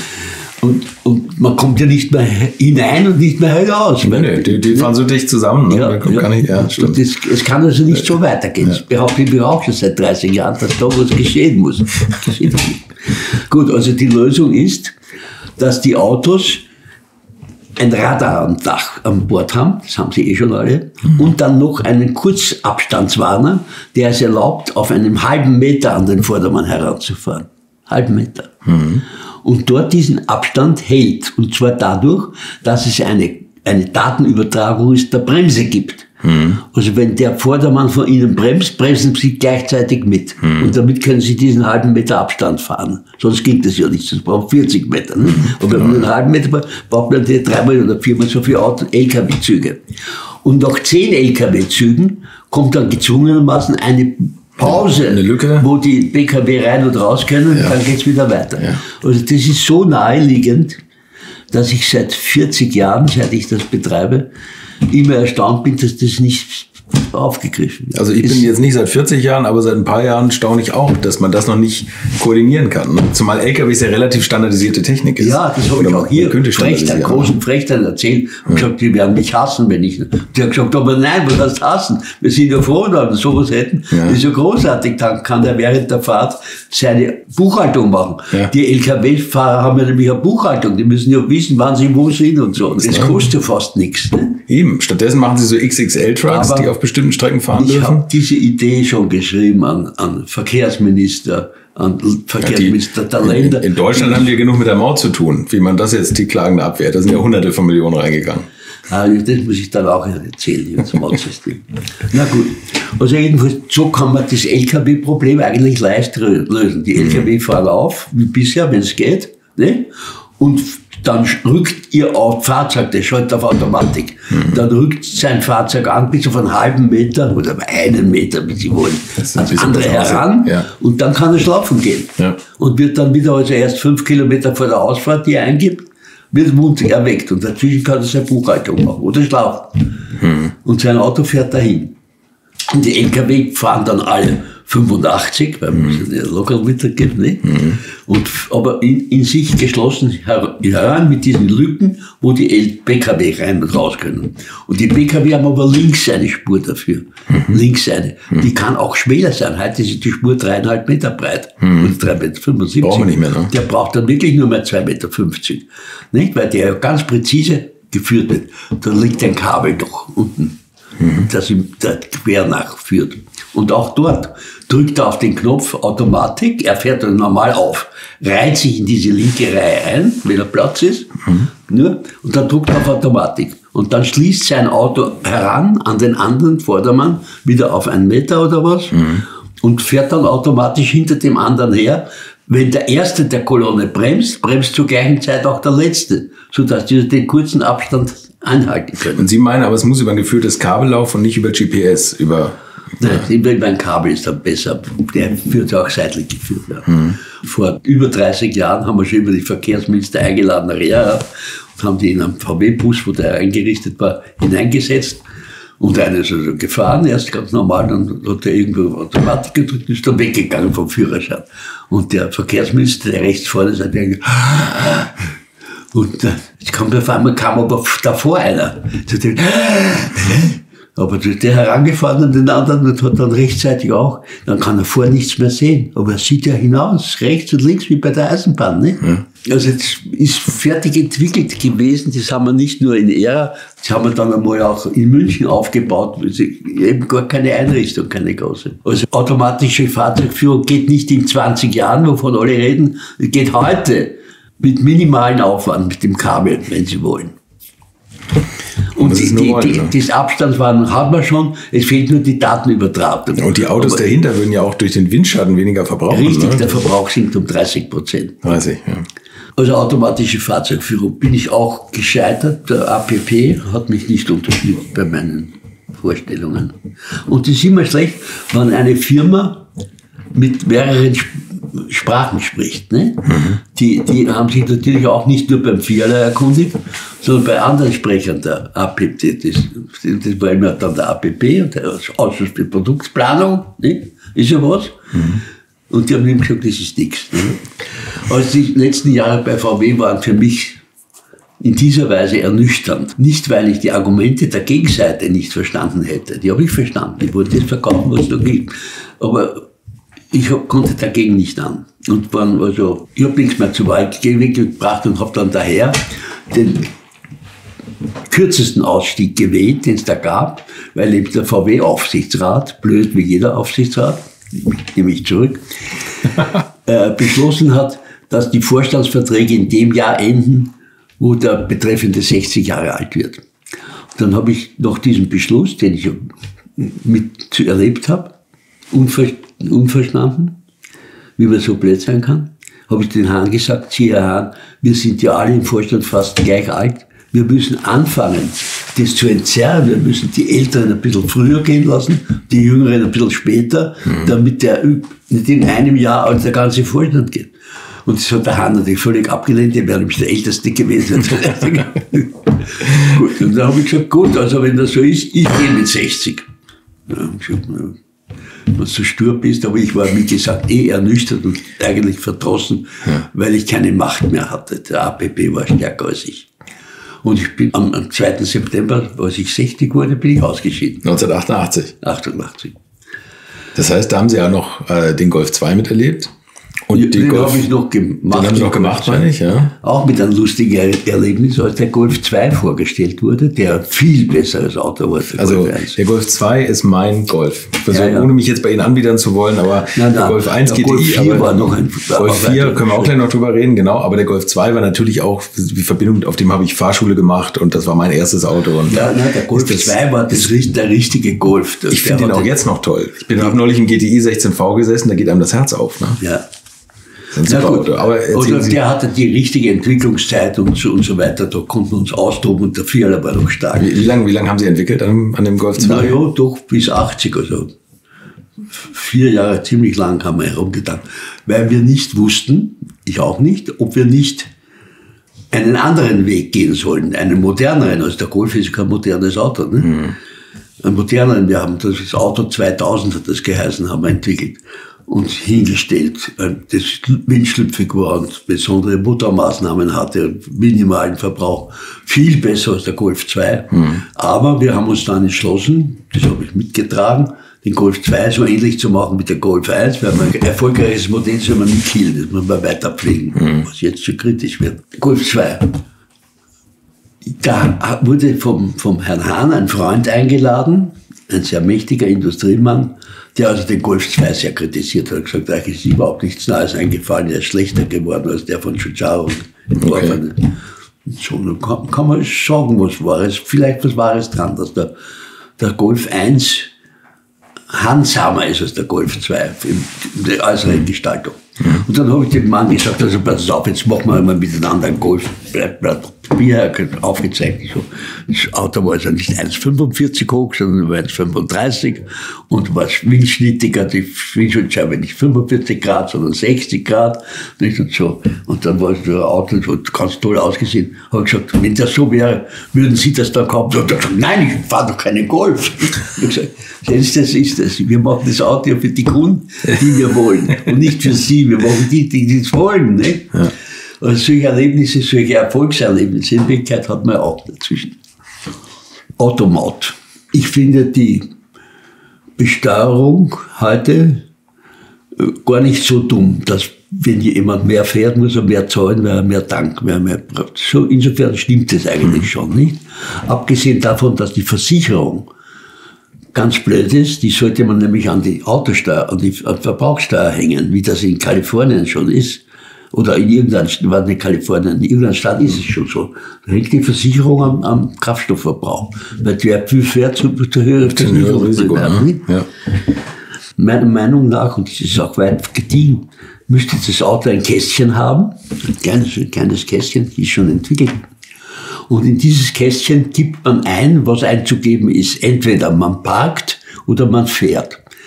F ist also D, was auf gut Deutsch Drive heißt. Und wenn man da drauf drückt, dann werden abgebucht, was weiß ich, fünf, fünf Cent je Minute. Mhm. Und das heißt, dass wenn Sie schnell fahren, dass Sie weniger zahlen, als wenn Sie langsam fahren. Mhm. Sie zahlen aber mehr, weil sie mehr verbrauchen. Und das ist natürlich wichtig. Sie zahlen am Ende doch mehr, wenn sie schneller fahren. Mhm. So, so, hoch darf die Prämie nicht werden. Nicht? Aber sonst ist es richtig. Wenn Sie langsam fahren müssen in der Stadt, wird die Prämie hoch, weil natürlich der Verkehrsraum in der Stadt viel teurer, viel kostbarer ist als über Land. Mhm. Und je schneller Sie fahren können, umso billiger fahren Sie. Also Autobahn sollten sowieso alle fahren, weil das die sicherste Straße ist, die also am wenigsten verbraucht. Nicht? Gut. Also, und damit wird das Fahren, also wenn Sie auf F drücken, wird abgebucht 5 Cent pro Minute. Und Sie müssen das Ding natürlich nachladen, weil sonst kann nichts abgebucht werden. Sie dürfen nicht fahren. Und das, was eingestellt wird, außen angezeigt, elektromagnetisch. Mhm. Also man braucht nicht mehr schauen, oder das Ding, sondern das, beim Vorbeifahren merkt die Polizei, der ist eingeschaltet und richtig. Mhm. Und wenn Sie auf P drücken, heißt das, Sie dürfen parken. Da werden dann nur mehr drei Cent abgebucht pro Minute. Aber abgebucht wird auch. Ja, ja, abgebucht wird. Für 5 Cent werden sonst auch abgebucht. Ja, okay. Von, von Ihrem Vorguthaben, nicht? Und auch in der Stadt brauchen Sie nur auf P zu drücken, wird minutengenau abgebucht mhm. und auch gleich zugewiesen, der Stadt, an der Sie sind. Mhm. Nicht? In, also in Linz oder in Innsbruck oder in Wien oder in Wolkersdorf, die, die kriegen das Geld, die das, die Straße dort machen, nicht? Mhm. mhm. Und das ist ganz billig, nicht? Und nur wenn Sie auf dem Privatgrund parken, brauchen Sie nichts zahlen zahlen sie auch nichts. Aber wenn sie irgendwo sonst parken, müssen sie auf P gedrückt haben oder in der Garage, wenn sie fahren, da können sie auch ausschalten, weil dann müssen sie Garagengebühr zahlen. Ja, ganz einfach, auch die Verkehrssachverständigen der Wien, der Herr Schmidt in Wien hat gesagt, ja, natürlich, das müssen wir machen. Das ist so einfach, ich brauche nur mehr hinfahren, wo immer auch, und ich drücke auf P und die, die Parkdinge können auch unterschiedlich teuer sein. Warum sollte ich nicht im Sacher vor dem Sacher parken können? Mhm. Natürlich kann ich parken. Natürlich kostet die Minute einen Euro oder zwei. Ne? Ja, Aber ja. wenn ich mir es leisten kann, dann stimmt Dann packt man halt. Ne? Ne? Ja. Geschäft. Ne?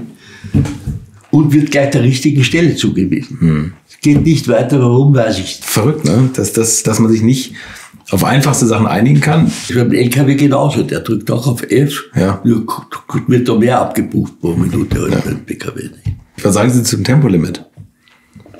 Ich, gut, ich komme jetzt aus Deutschland, wir sitzen ja, hier in Österreich, hier haben Sie Tempolimit. Ja, also ich, halt von dem, das Kuriose ist ja, dass alle europäischen Staaten Deutschland beklagen, also ihr müsst das auch machen. Mhm. Aber die Sicherheit auf, auf deutschen Autobahnen ist die größte. Das mhm. ist ein schlechtes Argument für die anderen. Wobei auch in Deutschland ja Deutschland weit, weit entfernt ist von Geschwindigkeitsbegrenzungen, weil es ja dauernd irgendwas, nicht? Ja. Ja, aber also meiner Meinung nach Geschwindigkeitsbegrenzung ja, und zwar zur Warnung des Fahrers, dass gefährlich wird. Hm. Ne? Und so muss er das auch verstehen. Und wenn, wenn nicht, fährt so schnell er will. Kann. Im Endeffekt schon, ne? Ja. Was war die wichtigste Entwicklung für Sie? War das der Golf 1? Ja. Oder? Und der Diesel. Und der Diesel, ja. Der Diesel war welt, weltweit durchgreifend weit. Das hat ja über, über vorher gab es ja keinen Diesel außer mhm. Mercedes. Und sonst gab es gar nicht. Auch BMW, die heute mit den besten Diesel machen, mhm. haben damals gesagt, das passt nicht so. Auch interne Überzeuger. Bei Audi gab es auch welche Dieselgegner. Dann haben wir mal einen Diesel hingestellt vom Flughafen, als der kam, einen Diesel hingestellt. Und dann haben wir gesagt, wie hat Ihnen das Auto gefahren? Oh, ist mir was aufgefallen? Nein. Es war ein Diesel. Was hat er gesagt? War ein Diesel? und dabei waren Diesel, das muss man ja auch sagen, die, die Technik des Diesels war ja damals ein Saugdiesel, glaube ich, noch, oder Turbodiesel kam ja später. Das waren ja eigentlich schon lahme Krücken. Die haben zwar wenig verbraucht, aber es war jetzt auch nicht mit heutigen Dieselmotoren ja. zu vergleichen. Die TDI-Generation, die im Golf 3 oder 4 dann ja, kam, die ja extrem nach vorne ging. Ne? Direkt Einspritzer. Genau. Genau, ja. Aber die, die, wieder dauert die Entwicklung seit zehn Jahren. Das hm. glaubt man nicht. Das und kostet ein irres Geld auch. Ne? Also einen Motor zu entwickeln ist eine, eine teure ja. Geschichte. Ne? Wie, da muss Ihnen doch eigentlich das Herz bluten, wie es mit VW und der Dieseltechnik und dem Verruf des Diesels jetzt weitergegangen ist, ja. oder? Da blutet mir das Herz wirklich. Weil das nämlich so ein blöder, ich bin gar nicht gegen das Betrügen. Ich, wenn man gescheit betrügt, bin ich ja dafür. Das war so ein blöder Betrug, weil man nichts gewinnen konnte und viel verlieren. Nicht? Und man alles verloren hat. Und ehrlich gesagt auch das gesamte Image, dass die Verbrennungstechnik weitergehen sollte. Ne? Und äh, dieses sogenannte Cycle Beating heißt das ja in der Fachsprache. Cycle Beating. Man besiegt die Vorschrift. Mhm. Das war zu meiner Zeit auch schon hoch im Kurs. Cycle Beating konnte man machen. Zum Beispiel, dass man Leichtlaufreifen, die man auf der Straße gar nicht fahren konnte, für diese Autos verwendet hat, damit die Rollwiderstände kleiner waren. Nicht? Ach, die hat man in, in der Abnahme getestet und ja, dann hat man andere Reifen in der ja. Serie auf. Oder recht einen hohen Luftdruck machen. Also das haben wir auch gemacht, muss ich zugeben. Sechs Bar nicht, aber dann weniger Rollwiderstand. Äh, aber, aber sonst habe ich mich immer gewehrt gegen Cycle Beatings und habe immer gesagt, wir müssen mit dem Vorschreiber reden, was er falsch gemacht hat. Mhm. Dass die Betrugsflanken offen sind. Nicht? Das muss man denen sagen. Man muss natürlich sagen, so, okay, ihr habt recht, weil ihr seid ja gleich Vorschreiber und Richter. Wir machen alles, was ihr wollt, klar genau. Aber wir sagen euch, es ist Blödsinn. Nicht?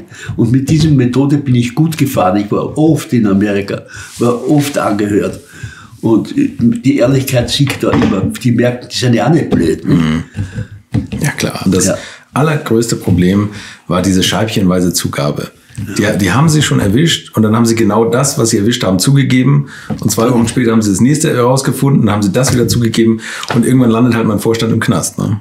Das ist ja, also das ist für mich fast unvorstellbar. Wobei ich das ne? ungerecht finde, weil der arme Winterkorn hat ja natürlich überhaupt nicht gewusst, dass da geschummelt wird. Das war sowas Nebensächliches. Die Zulassung von, von Autos in Amerika war so ein Selbstgänger. Selbstverständlich hat das der Entwicklungsmensch gemacht. Ne?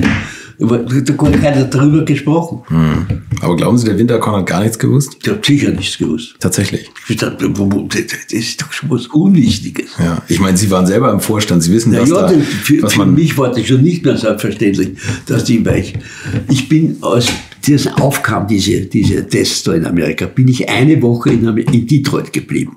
Habe auf dem stinkenden Flugplatz gewohnt da, nur damit ich mal anschauen konnte, wie das wirklich vor sich geht, wie man den richtigen Fahrer erwischt, der vernünftig fährt, so dass man wenig braucht. Ne? Und dass die, Ab die Abgase in Ordnung sind. Aber das muss man alles wissen, wie, wie kriege ich den richtigen Fahrer? auf legale Art und Weise. Hm. Nicht? Muss man ein schlechtes Auto dazwischen kommt, das durchfällt und sagt, das scheidet mal aus, weil es durchgefallen Also, da gibt es viele, viele Möglichkeiten, die man legalerweise machen kann. Man muss die nur dem, dem die Vorschrift muss man sagen, die, pass auf, das machen wir so. Mhm. Und der sagt, dann können wir es nicht verhindern, dass er macht. Nicht? Oder, oder, oder er ändert die Vorschrift vernünftig auf vernünftig. Nicht? Wobei, auf vernünftig ist ja, ich meine, das ist jetzt ein Witz, dass wirklich bei manchen Situationen die Luft sauberer wird, wenn ein Auto vorbeifährt. Ja. Ne? Das, das ist kann man auch keinem erklären. Ne? Das ist so, aber ja. die, die Leute sagen immer noch, Elektroauto macht keine Emission. Was heißt keine Emission? Emission muss kleiner werden, was Auto Äh, Sie haben auch am, am Drei-Wege-Cut übrigens, wo Sie gerade über Emissionen reden. Der Drei-Wege-Cut war auch ein großes Thema von Ihnen, ne? Naja, na das hat Bosch erfunden, den Drei-Wege-Cut. Okay. Das hat nicht ich. Aber es war natürlich die Lösung, die gescheite Lösung, auf die wir sofort aufgesprungen sind, die man machen musste. Hm. Der beste Golf für Sie? Das Siemer. Golf 7. Das sind, Golf, Golf 7. Naja, na, die, werden, die, werden, immer besser. Natürlich, ja. die werden immer besser. Ja. Keine Frage. Aber der Golf 2 war ein großer Schritt vorwärts. Und Golf 2 war wirklich der Durchbruch erst, der wirkliche, für mich der wirkliche Durchbruch. Der Golf 1 war ein liebes Auto, der Golf 1 GTI war ein tolles, mhm. tolles Ding, nicht? Aber äh, das war alles so, so mit Glück gesegnet und vorübergehend.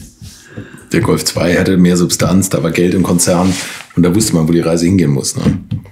Das ähm, war das ehrliche Auto, nicht? Hm. Der Ferdinand Pirch, der ist Ihnen ja auch früh begegnet bei Audi, als Audi-Chef ja, ja. mit dem Quattro-Antrieb. Da gibt es interessante ja, Begegnungen. Ja, ja. Äh, der Ferdinand, der, der Ludwig, äh, der Ludwig äh, Kraus, von dem ich schon öfter mhm. gesprochen habe, den Ferdinand Pirch geholt. Ohne es mir zu sagen noch dazu, der Kerl. Ich habe den Ferdinand Birch schon gekannt von vorher. Erst einmal von dieser ersten Sitzung da in Paris, mhm. wo mich der Hahn vorgeführt hat. Und dann war Ferdinand Birch damals doch ein eifriger Rotary-Geher. Und da haben wir uns bei Rotary auch getroffen. Ja, okay. So, ja. Kollegen, nicht? Ja. Und äh, Birch kam auch, nachdem er eingestellt wurde sofort zu mir und hat gesagt, sie, jetzt würden dann natürlich gleich Gerüchte entstehen, dass der Pirch den Fiala verdrängen will. Ich will sie nicht verdrängen, ich will nicht ihren Job. Ich will Vorstandsvorsitzender her werden, hat er gesagt. und das habe ich ihm hoch angerechnet. Und wir haben uns ja dann geduzt. Ich bin einer der ganz wenigen Dutzfreunde von Ferdinand gewesen. Und gegenseitig geschätzt oder auch nicht geschätzt, je nachdem, was gerade dran war. Aber mit dem Ferdinand Pirch ging es also immer ganz glatt. Und als Ferdinand die Idee hatte, er hatte immer die Idee, aus Audi was zu machen. Also er wollte nicht bei so einer Underdog-Firma sein, sondern er wollte Audi in die Top Marsch bringen. Wie machen sie das? Mit dem V8 oder so, das haben andere eh schon gehabt, da waren wir zu weit hinten oder der Motor vorne war ungünstig. Ist auch was Unglückliches passiert. Beim Ludwig Kraus noch hat man einen Ford V6, gab es damals 2,8 Liter V6 beim Fahren, in ein Audi 100 eingebaut und der Ludwig Kraus ist mit gleichem Graben gefahren, weil das Auto über Kopflastig. Also war das aus. Na gut, und wir haben ja damals, wir, den, der heißt Munga, diesen, diesen ist den Jeep Mungo? Mungo. Mungo, oder? Mungo hat der geheißen, ja. Mungo entwickelt. Und zwar nicht wie in Wolfsburg, sondern die ist damals voll ausgelassen, war zwar in Ingolstadt. Mhm. Und aus dem Mungo heraus war der Allradantrieb da. Damals ohne Differentialsperre und ohne alles. Und der Bier hat so einen Mungo Fahr Fahrausrüstung und dann Audi 80 gebaut und hat mich damit nach Wien geschickt. Der, der Bier war immer einsichtig und gesagt, Vierler, Sie sind für den Konzern verantwortlich, ich bin hier einer Ihrer, Ihrer Macher. Nicht? Und, aber Sie müssen am Ende nicken, sonst geht's nicht. Mhm. Gut, hat er das Auto gemacht. Und ich war mit meiner Frau in Wien damit.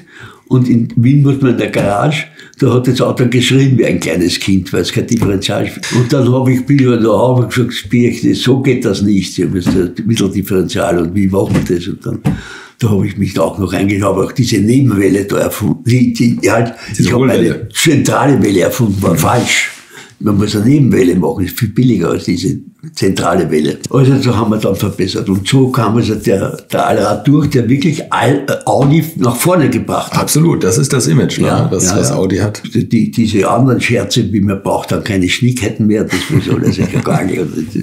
Natürlich braucht der bremst besser, hat er ja auch gesagt, er bremst besser im Winter. Ne? Ja, das ist alles nicht wahr. Und äh, äh, richtig ist, dass das ein Komfortmerkmal ist. Das ist nicht gar so viel teuer, als man zunächst gedacht hat. Allradantrieb ist, wer einen haben will, soll einen haben. Das nützt jetzt nichts eigentlich. Nicht? Was ist für Sie so der, der optimale Antrieb oder was, was wäre es für Sie, also jetzt aktuell, also ein Hybrid nach Ihrem Konzept in der Karosserie eines Golf oder? Also ich finde, dass es im Angebot der Autohäuser keinen Senior gibt. Wobei Senior ein schlechter Titel ist, weil Senior sind die alten Männer. Aber in Wirklichkeit sucht ein alter Mann natürlich einen gediegenen Antrieb, der genug Leistung hat, der bessere Federung hat, der leise ist. Nicht? Mhm. Und so ein Auto gibt's nicht, eigentlich. Mhm. Nicht? Es gibt nur große Autos, die sind entweder sehr teuer, was für die alten Leute oft keine Rolle spielt, weil sie eh genug Geld haben, mhm. aber, aber sie sind unpraktisch in der Stadt. nicht. Also ein, ein Auto von Golfgröße, maximal eigentlich Polo groß genug. Der müsste nur eine ordentliche Federung haben, eine ordentliche Motorisierung und müsste Senior heißen. Aber Senior ist. Mag man nicht. muss anders heißen, nicht? Ja, ja. Muss heißen, was weiß ich. Lakip oder irgendwas, nicht? Irgendein berühmter oder Sokrates oder so, nicht? So ein Auto fehlt. Hätte ich auch immer machen wollen, habe ich auch nicht durchgesetzt. Mhm. Nicht so ein Auto, wo, wo, so jeder sagt, das ist das beste Auto, was es gibt. Weil ich habe brauche kein Platzproblem. Heute, wenn sie ein großes Auto haben, eine Garage ist eine Katastrophe. Ja. Auch die Architekten habe ich ja früher als Professor in Berlin auch immer beraten. Die haben immer gesagt, was braucht man für ein, für ein Auto, für einen Garagenplatz? Habe ich gesagt, nur für welches Auto? Habe ich gesagt, nur für einen Käfer. Naja, das sind die Garagen geworden. Für einen Käfer, ne? Ja.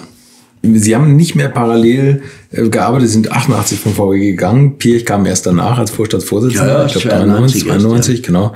Wie haben Sie das gesehen, was er aus VW gemacht hat? Ich meine, der hat ja mehr oder weniger Luxuskonzern draus geformt, ne? teilweise mit dem Phaeton und so. Ja, äh, äh, Biech war der erste Vorstandsvorsitzende, der wirklich Geld hatte. Mhm. Und mit diesem Geld hat er was Vernünftiges gemacht. Er hat aus dem Werk mit einem guten Hotel dabei und, und Ausstellungsräumen, Ablieferungsräumen, das hat er gut gemacht. Und hat auch genug Freiheit gelassen der chinesischen Entwicklung. Die chinesische Entwicklung hat noch zu meiner Zeit begonnen, wurde da auch gepflegt, weil man den Markt gesehen hat, ohne dass man gesehen hat, dass dieser Markt je aufgeht.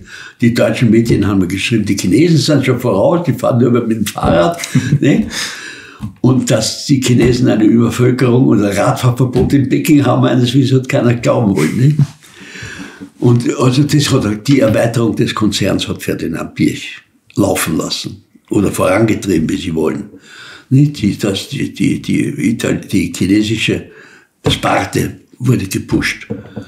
Man kann nicht sagen, dass er die Luxusmarke gepusht hätte. Nicht? Dass man so einen überdrüber Golf gemacht hätte. War nicht, aber er hat den Golf gepflegt. Der Golf 4, der in seiner Handschrift entstanden ist, war ein, ein Sprung. Mhm. Golf 4 war deutlich besserer Golf als der Dreier der, den ich noch zu verantworten hatte, teilweise wenigstens. Aber da hat man der APP schon hineingeredet. Ich finde es sehr interessant, was VW für eine Entwicklung gemacht hat. Eben gerade ja. auch mit diesen, mit diesen Luxusautos. Und ich bin ein riesen Phaeton-Fan übrigens. Also ich finde den. Ja, war ein tolles Auto, Phaeton. Ich habe drei ja. Phaetons verschlissen, ja. Haben Sie? Nein, nicht verschlissen, aber gefahren. Ja, Phaeton war ein fantastisches Auto. Ne? Welchen Motor haben Sie da drin? Den 10 Den Sechszylinder. Den Sechszylinder. Sechszylinder Diesel. Okay. Bin mit sieben Liter gefahren von Kärnten nach Wien und retour. Unglaublich, ne? Ein Zwei-Tonnen-Auto. Unglaublich. Was glauben Sie, ist der ideale Motor, Verbrennungsmotor heutzutage? Ja, wegen Kostengründen nicht dagegen sprechen, der Diesel. Es ist ja so, dass leider der, der, Diesel immer noch teurer ist als der Benziner. Obwohl man beim Benziner auch heute Benzineinspritzung hat, das ist auch alles sauteuer geworden, sodass der Unterschied zwischen Diesel und Benzin weiß ich gar nicht genau, wo der heute ist. Wir haben es ja geschafft, dass wir den Dieselmotor auf der gleichen Linie produzieren konnten mit dem Benzinmotor. Nicht? Mhm. Da gab es nur eine Ausweichstelle, wo ein anderer Kopf drauf kam. Ja, okay. Das war alles. Okay. So haben wir alle, alle gestaunt, alle unsere Konkurrenten, wie man einen billigen Diesel machen kann, der so mhm. billig war und, und ein gebrauchstüchtiges Auto. Das, das war der Durchbruch eigentlich, auf dem ich am stolzesten bin die, die, die Vertäglichung des Diesels. Wahnsinn, Herr Professor Fiala, das ist irre. Ich habe mir auf der Herfahrt überlegt, dass Sie, also nach Ende Ihres, Ihres Studiums, als Sie zu Mercedes gegangen sind, was Sie schon gesagt haben, haben Sie beim berühmten SL-Flügeltürer die Federn dimensioniert, um die Türen zu halten. Der Wagen ist wann rausgekommen? 1954? 52. Also ja, vier, Entschuldigung, 54. 54. Das haben Sie vor 65 Jahren konstruiert. Ja. Also da ist ja, das ja. rausgekommen, vor fast 70 Jahren. Und wir sitzen hier heute zusammen und Sie machen den Eindruck, als würden Sie morgen wieder ins Büro gehen bei VW. Ja, Das ist unvorstellbar. Also es ist wirklich ein, ein, eine Riesenfreude, mit, mit Ihnen reden zu dürfen. Dankeschön. Ich habe noch eine letzte Frage. Die, die habe ich immer, die stelle ich immer, da bin ich bei Ihnen gespannt. Und zwar mal angenommen, das ist ja sehr fiktiv, das Rohöl geht aus.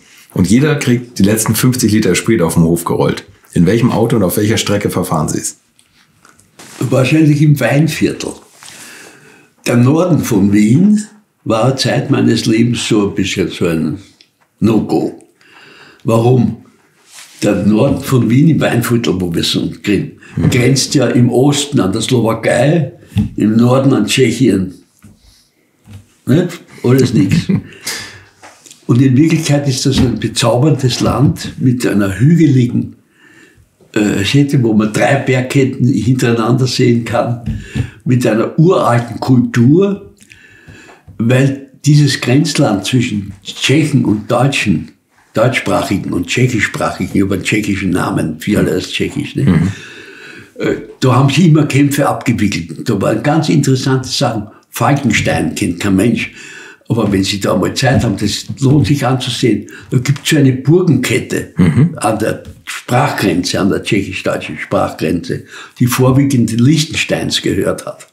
Und da ist eines davon, das bekannt, das ist Nikolsburg und ein anderes ist Falkenstein, wo im Mittelalter die Hutterer zusammengekommen sind, die von den Salzburger Erzbischöfen und von der ganzen Gegenreformation vertrieben wurden, haben dort ein Schlupfloch gefunden, was auch damals schon abseits von allen guten Dingen war. Und die haben dort mit 25.000 Leuten ein, ein, ein huterisches Zentrichgericht errichtet, Aha.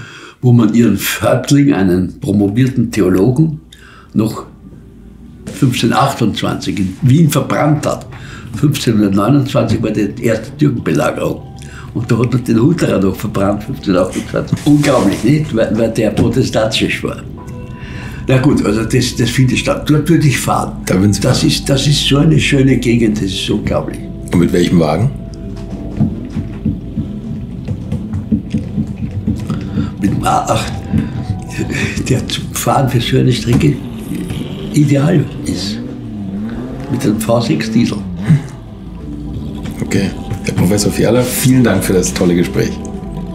Das war Professor Ernst Fiala und ich hoffe, er bleibt noch viele Jahre so fit und munter, wie ich ihn erleben durfte und dass er noch viele Ausfahrten in die Weingegenden rund um Wien unternehmen kann. Ich hoffe auch, dass ihr gesund bleibt und wir uns dann in der nächsten Woche wieder hören, wenn ich euch einen neuen Gast aus der goldenen Ära des Automobils präsentiere. Bis dahin, macht's gut.